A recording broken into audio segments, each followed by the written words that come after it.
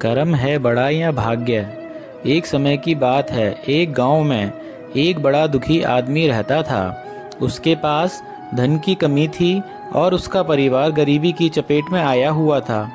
वह अपने अच्छे दिनों की यादों में खोया रहता था और अपने भाग्य को दोषी मानता था। एक दिन वह एक बूढ़े ब्राह्मण के पास गया और अपनी समस्याओं का विवरण किया। ब्राह्मण ने उसे बताया कि उसे भाग्य को दोष दोषी ठहराने की बजाय कर्म पर ध्यान केंद्रित करना चाहिए और बताया कि कर्मों का प्रभाव भाग्य के प्रति अधिक होता है और अपने कर्मों के माध्यम से मनुष्य अपना भाग्य बदल सकता है। ब्राह्मण ने उसे अपने साथ अपने देश में यात्रा करने का आह्वान किया।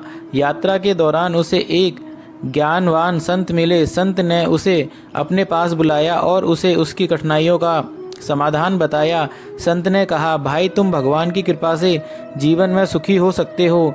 भगवान तुम्हारे कर्मों के आधार पर तुम्हें फल देते हैं। अगर तुम अच्छे कर्म करोगे तो भगवान तुम्हें सुख देंगे। उनके मन में एक नई आशा जागी।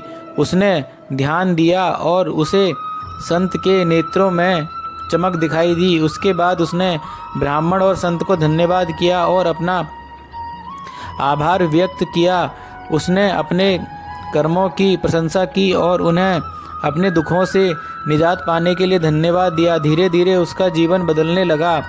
वह सत्य और न्याय के मार्ग पर चलने लगा और अपने कर्मों में लग गया। उसने अपने परिवार को संभालना शुरू किया और धन की कमी को दूर करने के लिए मेहनत की।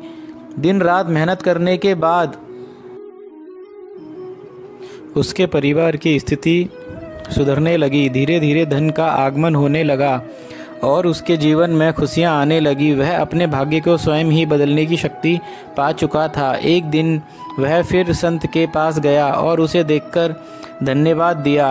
वह बताने लगा कि अपने कर्म के माध्यम से अपना भाग्य बदल दिया है। संत ने उसे आशीर्वाद दिया और कहा, बेटा, यह तुम्हारे अच्छे कर्मों का फल है। तुमने सच में अपने भाग्य को बदल दिया है। इस कहानी से हमें यह सीख मिलती है कि भाग्य और कर्म दोनों में तालमेल होना चाहिए। हालाँकि भाग्य एक महत्वपूर्ण अंश है, लेकिन हमें अपने कर्मों पर भी ध्यान देना चाहिए।